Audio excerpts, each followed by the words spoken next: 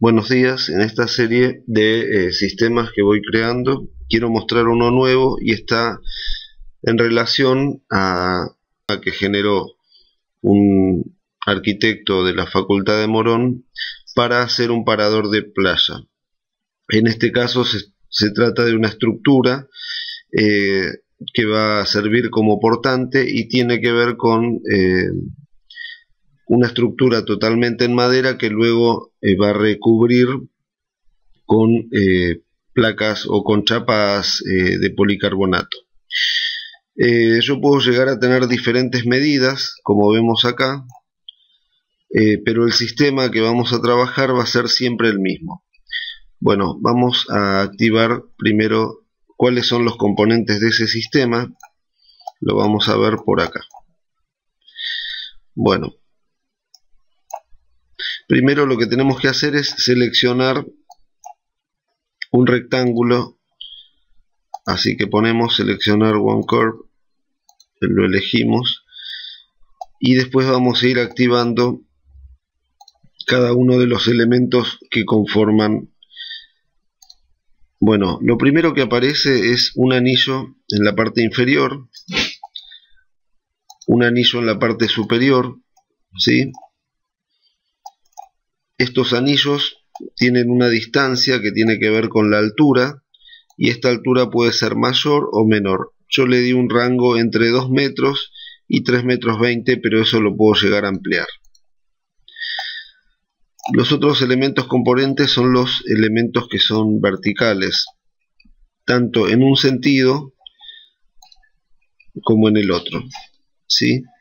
Estos elementos componentes pueden llegar a modificarse la separación entre ellos. En este caso están a una separación de un metro y yo les di un rango desde 40, 50, 60, 70, 80, 90 centímetros a un metro. O sea, nosotros podríamos trabajar en un rango de entre 60 centímetros a un metro. Esa es la separación entre estos elementos verticales que conforman las columnas.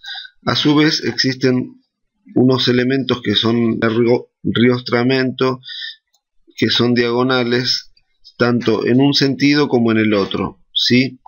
Y depende de la cantidad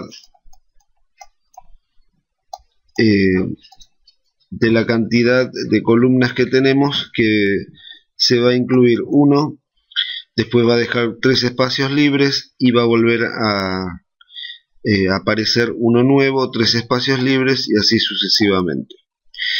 Bueno, lo interesante de esto es que a su vez, como habíamos dicho, podemos cambiar, por ejemplo, la altura, modificarla de forma dinámica. Podemos modificar también esto que aparece acá, es la sección de madera. Este es el lado menor y este es el lado mayor. Nosotros trabajaríamos en pulgadas acá estamos hablando de 2 pulgadas podemos ahí donde dice original acá arriba nos está diciendo en pulgadas cuántos son. Y esto es una medida para poder hacer el cálculo. ¿sí?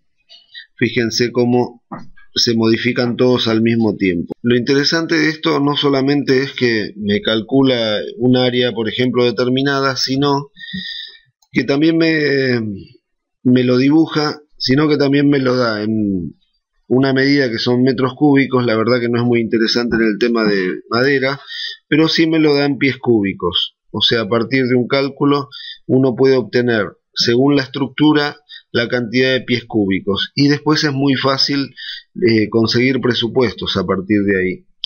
De acuerdo, por ejemplo, a presupuestos que estoy manejando, yo sé que me puedo llegar como a achicar la separación entre columnas, y puedo ir haciendo como pruebas. Puedo llegar a separar, por ejemplo, menos, vamos a poner que hacemos cada 60 centímetros y luego decir que eh, trabajamos con 2x2 eh, y bueno, y ahí me está diciendo la cantidad de pies cúbicos que hay.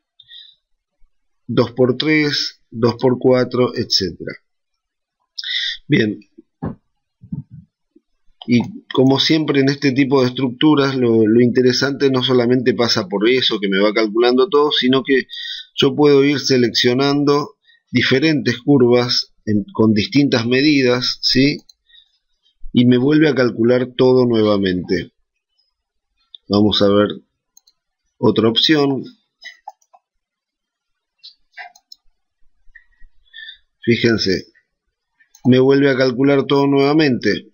Pero además hay otra característica que es que si yo modifico la, la estructura, por ejemplo, vamos a cambiarla acá, también vuelve a calcular todo, o sea, vuelve a dejar la misma separación entre columnas, la altura, vuelve a acomodar los, estas riendas de, arrostramiento, eh, pero mantiene la coherencia, por ejemplo, en los 60 centímetros de separación, etcétera, y todo es dinámico, vuelve a calcular nuevamente la cantidad de pies cuadrados en relación a sección de madera que yo estoy teniendo acá.